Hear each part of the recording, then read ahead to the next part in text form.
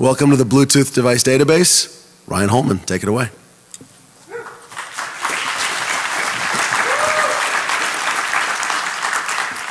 Thank you. Thanks for coming. Um, last talk of the day. Everyone having fun so far? Yeah. um, so this project is um, a little more high level than some of my previous projects. Um, it, if you're getting into Bluetooth, it's, it's really fun to see it at this type of view. Um, and I don't believe that it's really ever been looked at in this way. And I believe that you really need to look at devices in the wild in order to understand a technology.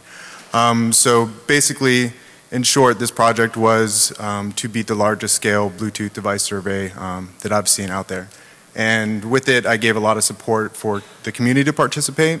Um, so I have a lot of clients, and I'll tell you how to install them later on. Um, but if you want, go out and install some of this stuff and send me your data. It's for everyone, uh, not just for me. So. Um, a little bit about myself before I get started. Um, it's a great picture of me. Um, um, I'm a senior uh, server, or I used to be a server developer. I'm a security researcher at Ziften Technologies, um, where we do a lot of uh, endpoint security, analytics, and um, management solutions. if you haven't heard about us, check us out. We do some cool stuff. in my spare time, uh, I spend a lot of time tinkering with Bluetooth. Uh, I have some Python uh, Ubertooth um, projects that I have up on my GitHub repo. Um, uh, fun stuff. Uh, I, I, have fun doing this stuff in my spare time. Um, follow me on Twitter to follow any other projects I'm doing. And all this research today is kind of just of my own. It has nothing to do with Ziften. Um, they just allow me to come out and present to you guys. So. Um, so as I mentioned before, at its core, um, the Bluetooth device survey, um, the Bluetooth database project was uh, one of the widest scale uh, Bluetooth surveys that, that I'm aware of. Um, and you know, I did it because I had a lot of questions about devices in the wild. And there weren't any data sets big enough and broad enough to answer a lot of my questions, so I kind of just took this on. Um, and as I kind of went through this and started doing a lot of analysis on the data, um, I became aware of a lot of things that I really wasn't aware of before. Um, a lot of questions got risen and um, I was able to come up with a lot of answers for them and learn some new things. Um, and so all of this project was done only on discoverable devices and a lot of people say, hey, wh why did you only do discoverable devices? You do a lot of um, passive stuff in your spare time. Well, the number one reason was uh, convenience, right? Um, I could write a simple iPhone app and put it in my pocket and walk around and scan things. Um, people don't really like it when you walk around with big antennas and crowds and computers. It, you know.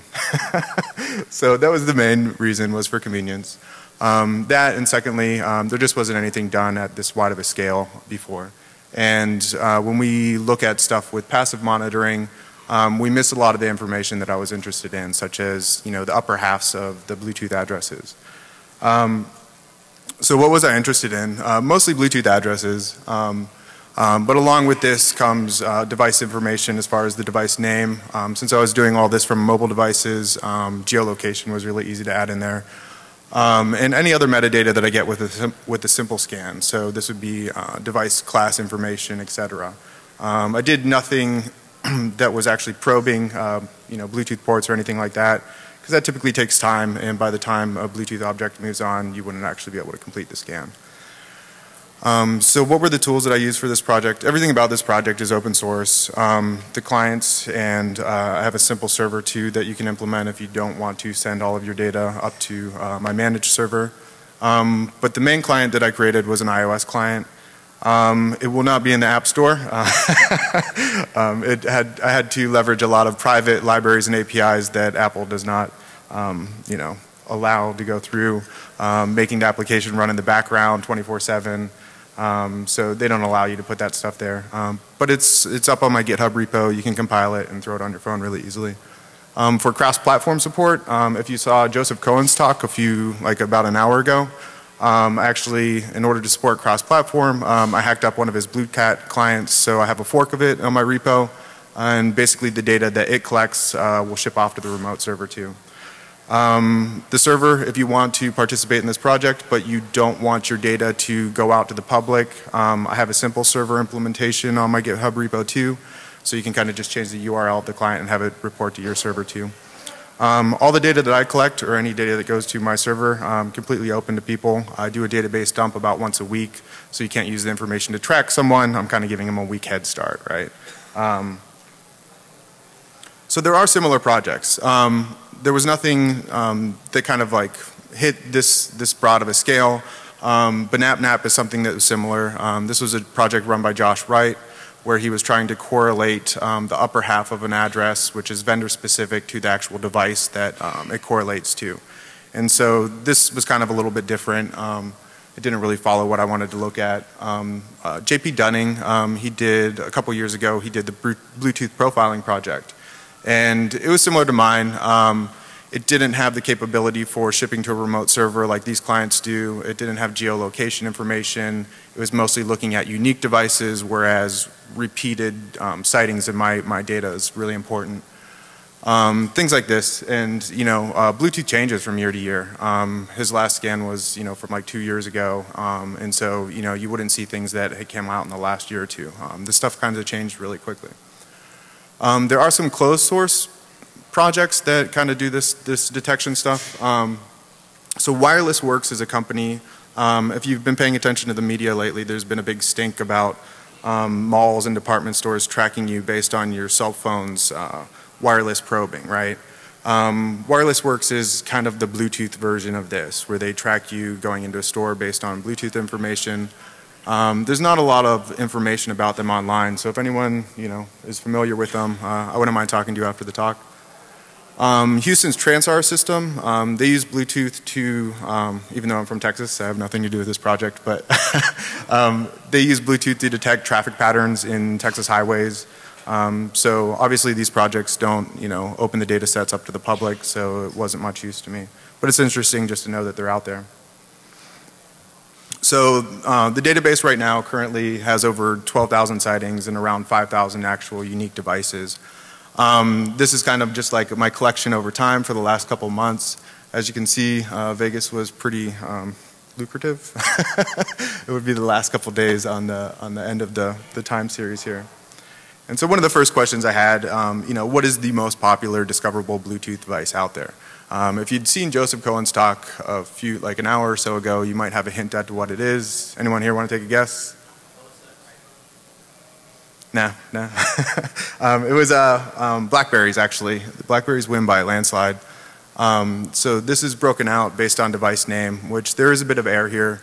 Um, but um, I had to munch some of the data. A lot of the devices that we get back in have generic names. You don't actually get the name on the first scan, so they would just be kind of bucketed into mobile phone. Um, so for this data set, I just truncated that information off. but for the most part, if you take the top 10 in this list, it's pretty accurate as far as what's really out there.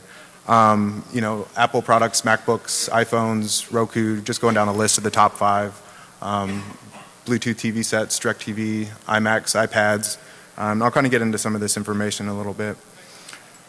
Um, so some of the cool things that we can do, um, I kind of truncated a lot of this, this material. I thought this was a 20 minute talk, but they gave me more, so I get to take my time on this. Um, but some of the cool things we can do with geolocation on this is the way that I was collecting data was a lot different than a lot of other techniques, where most techniques, as far as like Wireless Works or the uh, Texas Department of Transportation, um, they're basically a stationary cell, and basically you can assume that anything passing them is a mobile or is a mobile device, right? So it's moving. Um, with my uh, survey, it was a little different. I was the moving device, so it's really hard for me to determine am I seeing a moving device on the other side.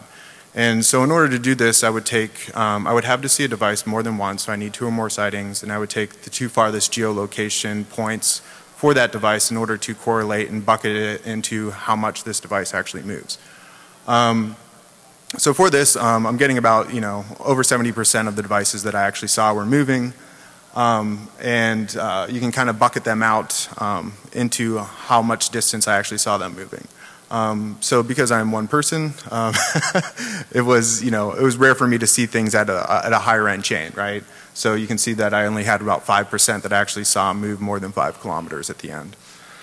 Um, cool way to look at the data, and I liked it. Um, another thing you can do that's pretty cool with geolocation information is you can uh, look at the reoccurrence of it in your data set. Um, so in this top picture here, this is a local Costco that I go to, you know, time after time, and I always have my phone on, you know, scanning the devices in there. Um, so on this map, you can see the blue dots, and these are devices that are stationary and local to this, this particular Costco that I go to. And all of the red dots would be, you know, devices which are, you know, not local to this. So these would be most likely people, you know, traversing the store at the time.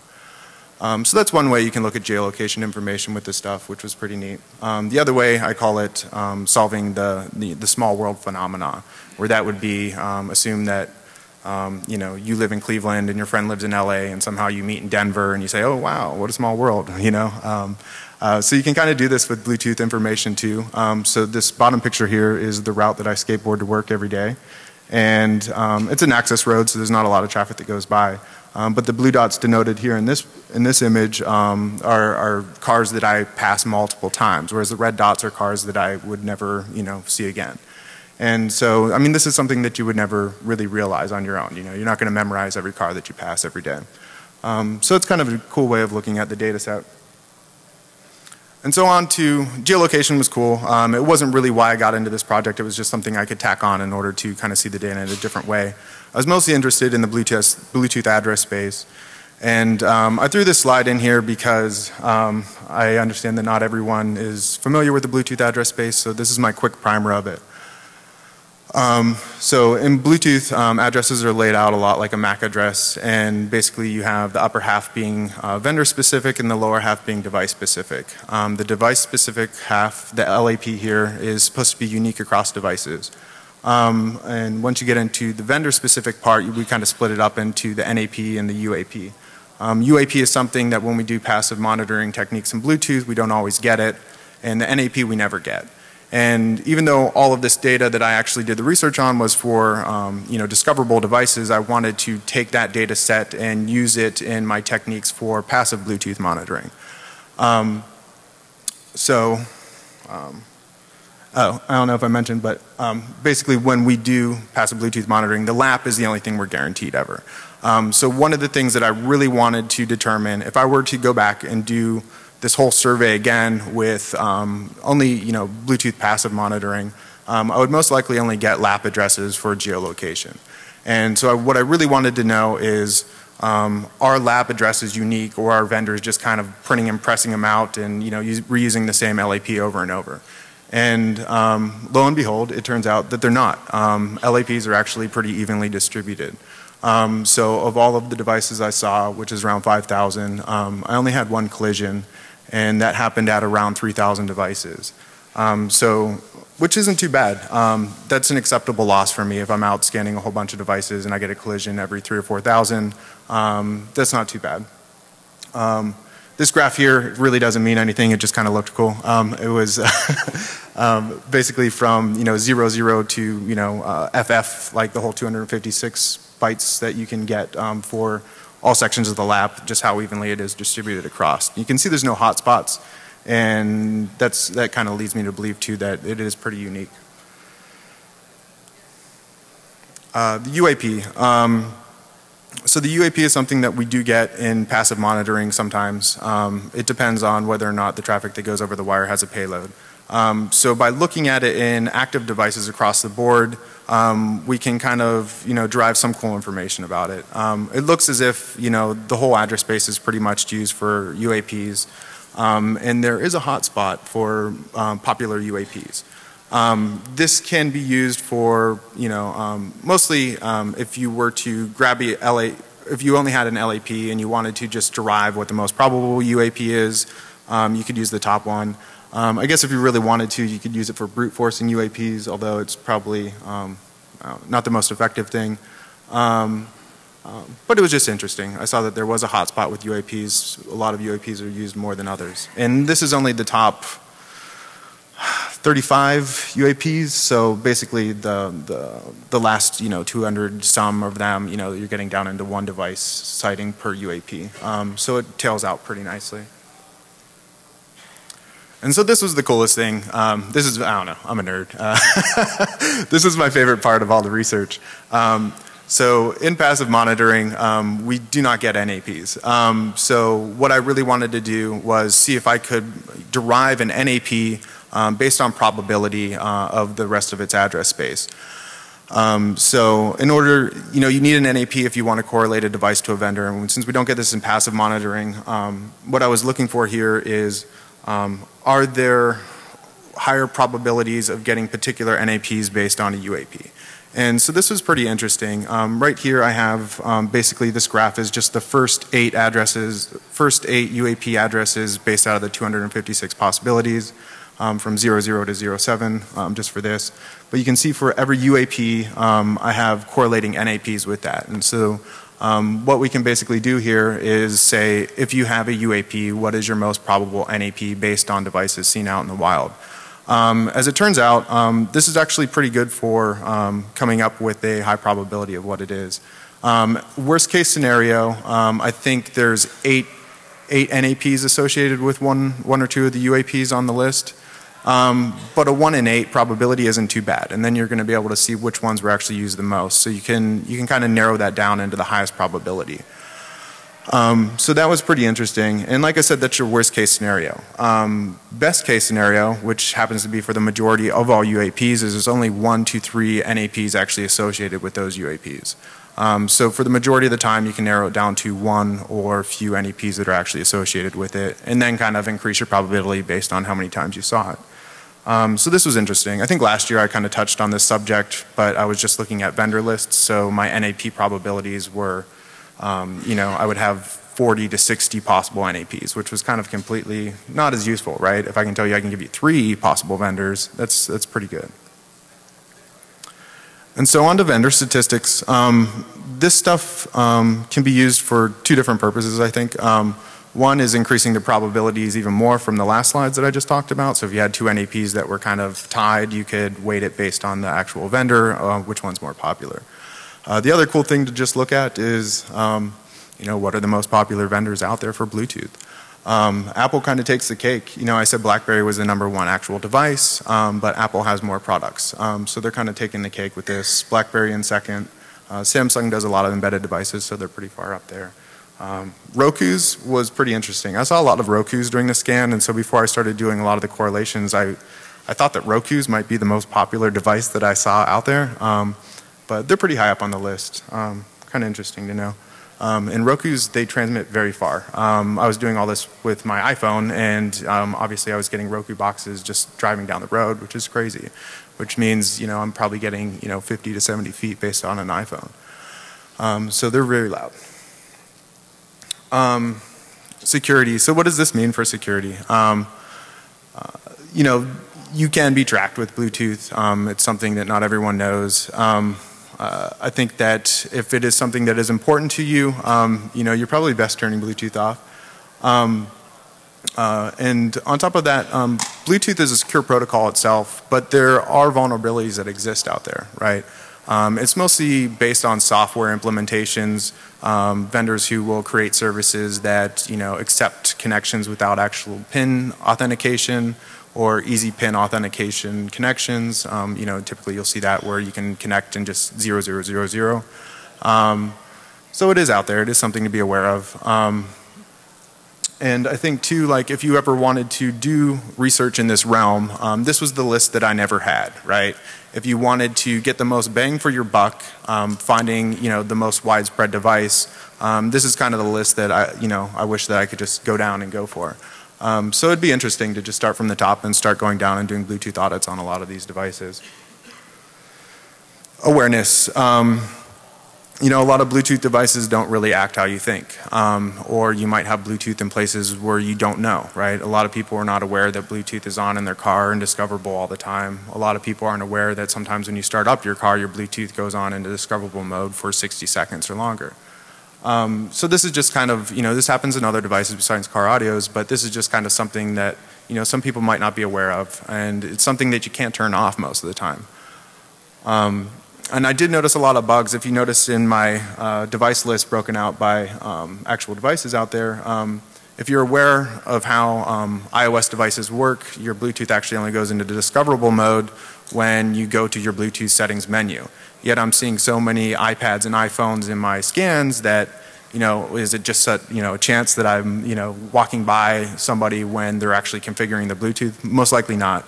Um, so what happens, this actually happened to me multiple times while I was scanning this, and I've never really scanned 24-7, so it wasn't apparent to me at the time that my phone would get stuck in discoverable mode sometimes. Um, it depends on how you actually leave the, the Bluetooth settings page in your iOS device.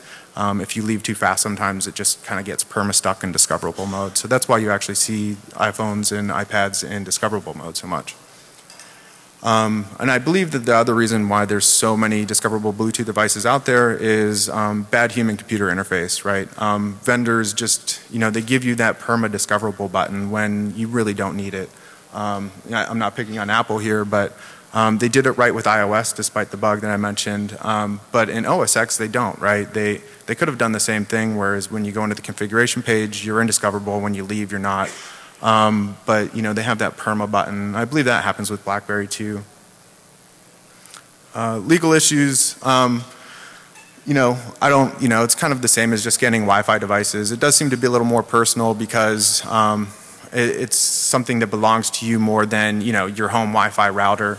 Um, but as far as legal issues go, I mean, there's really nothing out there, and it, it, it is kind of just based. Um, the closest thing would be, you know, detecting Wi-Fi devices.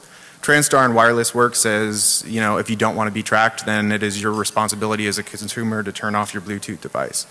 Um, you know, I don't, I don't know. Not everything can be turned off, so I don't know if that's the right answer. Um, so all my data sets for this stuff um, can be downloaded from bluetoothdatabase.com. As I said, um, I do a dump about uh, once a week. Um, all the client code and server code that I mentioned in this talk can be linked to from bluetoothdatabase.com or you can go to my GitHub repo directly in order to get at this stuff. Um, and if you need to contact me, um, hate mail, whatever, uh, ryan at hackgnar.com.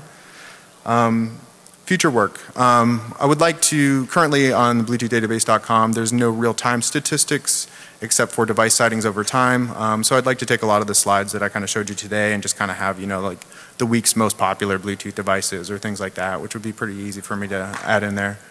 Um, community participation, obviously the reason why I'm here today. Um, if you guys want to participate in this, um, you know, uh, feel free to install my clients, even if you don't want to submit it to this, this database. Um, fire up your own server. I supply the code for it. Um, just kind of look at what's out and around you, right? It, it's kind of fun to see, and it will, it'll, you know, it'll give you a wider, you know, idea of what's really going on out there in the Bluetooth space. Um, service enumeration, um, I didn't add this in originally and I might play around with it. I think um, if you, I didn't want to do anything like too, um, uh, I wanted to be as, as evasive as I totally could. I didn't want to do RFCOMM scannings on a lot of these things, um, mostly because I don't want to interrupt anyone's daily process, right? RFCOMM scanning can sometimes bring up pop-ups on your devices and stuff like that, so I really wasn't looking to uh, offend anyone. Um, and a passive survey, I think that um, by comparing, by doing a large scale passive survey and kind of comparing the data sets, it would lead to a lot of interesting space. Like you would get a wider um, view of what the actual Bluetooth deployment is out there. Um, so you can kind of compare the sets. You would see, okay, out of X amount of discoverable, how many passive do you typically see in an area? Um, things of this nature. Um, it'd be cool to do with standard rate and Bluetooth low energy, right? I don't believe anyone's really done a large scale Bluetooth low energy scan, um, which would be kind of cool to see. So that is it. I almost clapped for myself.